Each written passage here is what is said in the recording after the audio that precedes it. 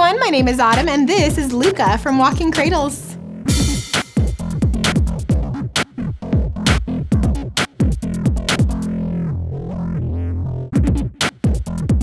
These gray wedges are made with a fabric or denim upper. It's got this center seam that adds a little touch of style. Open toe, adjustable buckle here at the ankle. It's got a really smooth and breathable leather lining with the tiny pillows technology in the footbed to give you cushioning all day. I really like the wedge. It's cork wrapped, got some texture there for a cute touch of style, all on top of a durable man-made outsole. A casual style with a little bit of a boost. Try these ones from Eric Michael.